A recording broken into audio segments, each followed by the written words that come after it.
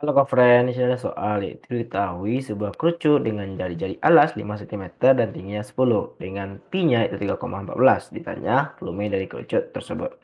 Nah, kita harus ingat konsep dari volume kerucut yang mana volume kerucut rumusnya adalah sepertiga dikali V dikali R kuadrat dikali tingginya.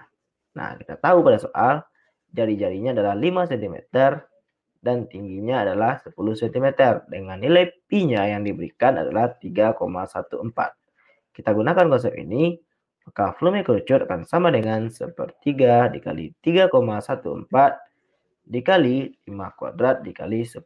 Maka akan kita peroleh sepertiga dikali 3,14 dikali 5 kuadrat adalah 25 dikali 10, 250. Maka ini akan sama dengan 3,14 dikali 250 adalah 785 dibagi 3. Yang mana volume kerucut yang hasilnya adalah itu 261,6667. Nah, yang mana satunya adalah sentimeter pangkat 3. Nah, inilah jawaban untuk pertanyaan kita. Baik, sampai jumpa di soal selanjutnya.